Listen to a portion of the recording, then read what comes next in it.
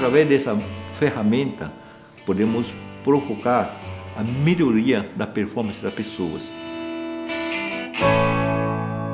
Por exemplo, a pessoa tem uma úlcera no estômago derivada de um processo de estresse, porque não está conseguindo canalizar essa energia para fora, por alguma razão de pressão do trabalho, pressão emocional.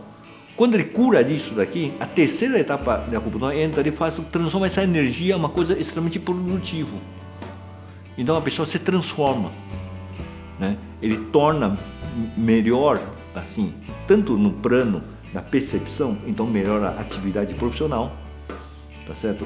Fazer a ascensão na carreira para atingir a sua meta, tanto melhora até o estado emocional interno, onde dá maior capacidade de amar, de gostar, de apaixonar e, por que não, de perdoar também.